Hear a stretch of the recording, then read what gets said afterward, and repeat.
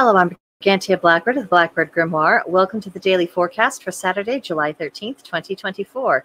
It is the day of Saturn. It is the day of magic. We are moving from a waxing crescent moon into a waxing gibbous, so we'll have a change of focus there. We are in Cancer season, the Celtic tree month of Holly, Woodpecker season, the Saturn retrograde, Neptune retrograde, and Pluto retrograde, all in full swing. Now, for today's astrology in detail, uh, the sun is in Cancer, cardinal water, representing intuition. The moon begins the day in first quarter Libra, cardinal air, representing courtesy. Then at 5:49 p.m. Central Time, it goes void of course, and second quarter begins. Then Mercury is in Leo, fixed fire, representing ideals. Venus is in Leo, fixed fire, meaning to be ardent. Jupiter is in Gemini, mutable air, representing questing. Saturn is retrograding in Pisces, mutable water, representing the need to redefine dreams. Uranus is in Taurus, fixed earth, representing renovation. Neptune is retrograding in Pisces, mutable water, representing a spiritual awakening. And Pluto is retrograding in Aquarius, fixed air, meaning to examine intentions. So the Saturn retrograde its watchwords are reevaluate goals, reconsider commitments, reclaim authority. For Neptune, it's reimagine dreams, reclaiming a sense of mystery, reclaiming faith and magic. And for Pluto, it's reclaim the ability to regenerate, reconsider what deserves your energy, and release attachments that do not serve. So, the moon phase later today, we will have that waxing gibbous. We will be cultivating and tensions. However, we this also happens at the exact same time as the moon goes void, so uh, we'll probably won't be doing anything active until you know tomorrow when the void moon comes to an end. Uh, but during the mo- void moon, as it lasts for the for the evening, uh, the do's are rest, meditate, do some yoga, just very low key, relaxing type of stuff. Uh, the don'ts are spell and ritual work, big decisions, business deals. Essentially, kind of treat a void moon almost the way that you would do a Mercury retrograde, just you don't want to get too in depth or too uh, too involved in anything. Uh, just because it's not going to go smoothly the way that it should. So just uh, wait a bit. Most things, you know, if either we can get our magical workings accomplished before the void moon that hits late this afternoon, or we can just wait till the next day. Either or, it'll be fine.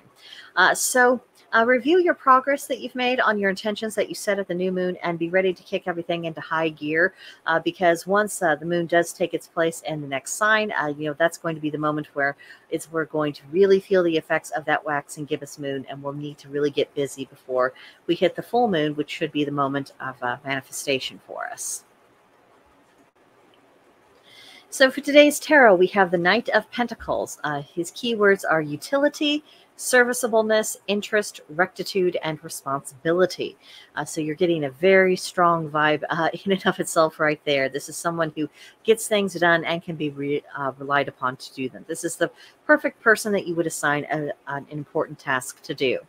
And when you're thinking pentacles, think earth element, feminine energy, receptive. Uh, for the suit of pentacles, material action. And for knights, always think messenger. Now, you'll notice uh, the, the, the horse in this picture is just out of cards with the knights. That is uh, uh, very indicative of how quickly or how slowly we might expect to see something taking place. And for Pentacles, uh, you can expect very slow action. It's going to occur and unfold. And I don't want to say still exactly, but they are definitely walking along. So don't expect instantaneous results for anything magical you might be doing. At least not while this is the atmosphere. Uh, next up, today's Celtic triad. Uh, three things not easily found an arrogant person generous, a young person wise, and an old person mannerly. Now, arrogant people tend to be so consumed with their own concerns and their own sense of importance that they fail to notice opportunities for kindness if indeed they notice other human beings at all. Uh, so obviously, this is not an admirable thing uh, to emulate. And then uh, for the youth, uh, they they lack life experience. Uh, they don't have. They just have not lived long enough to see how various decisions and behaviors turn out, and that is what impairs their judgment. It isn't any lack of intelligence. It's just you know they haven't finished cooking yet, and not that any of us ever really do.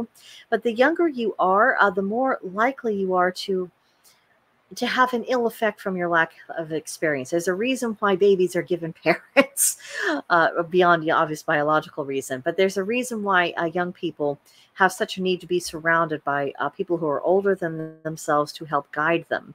Not to micromanage their lives as it develops, but to guide them, uh, to let them know, you know, what generally has a good outcome, what generally doesn't, and uh, to encourage them to make decisions that will ultimately uh, build up their lives rather than tearing it down. And now we have uh, rude old people. now, the elderly uh, may take the view that they have lived entirely too long to bother with anything other than plain speaking. And of course, some I have heard some uh, older people make the excuse of, "I could die any day now if I take too long to say what I need to say. You know, it's not going to get said." It's almost as if they're visualizing the Reaper you know in the corner of the room uh, but what it is i think what i think it really comes down to is impatience they've just they've had enough and honestly that impatience is something that's also shared by young people and certainly by arrogant people uh, they're they're just wanting to just get on with things uh, even if that's not necessarily the best possible approach sometimes slow and steady really does win the race and uh, i think that I think we need to have an increased appreciation of the value of tact. And of course, older people are less likely to share that appreciation. So, so much for that triad. Next up, our magical intention for today is forgiveness. The color is blue, the plant is the geranium, the animal is hummingbird, and the crystal is the blue topaz. So, when it comes to forgiveness, that isn't something that we tend to talk about a whole lot uh, within uh, witchcraft and paganism generally, because you know we're not really religions that are built upon the idea of sin that you constantly need to be uh, repenting of and seeking forgiveness for, and absolution and all these other things. Uh, you know, we aren't. Um, we just we don't have that mindset. It's not part of who we are, and it's one of the things that um, uh, also um, separates us from uh, Abrahamic religions that are very much focused upon sin and making sure that human beings understand that they cannot possibly get by on their own. And uh, you can make your own decisions about uh, what kind of uh, people that mindset actually creates.